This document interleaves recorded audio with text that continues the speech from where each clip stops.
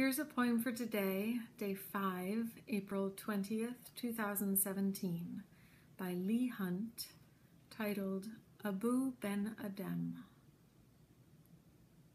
Abou Ben Adhem, may his tribe increase, awoke one night from a deep dream of peace, and saw within the moonlight in his room, making it rich and like a lily in bloom, an angel writing in a book of gold.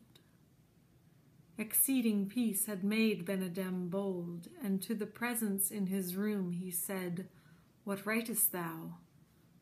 The vision raised its head, and with a look made of all sweet accord answered, The names of those who love the Lord. And is mine one? said Abou. Nay, not so, replied the angel. Abou spoke more low, but cheerily still, and said, I pray thee then, write me as one who loves his fellow men.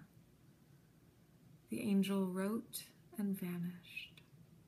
The next night it came again with a great wakening light, and showed the names whom love of God had blessed. And lo, Ben Adhem's name led all the rest.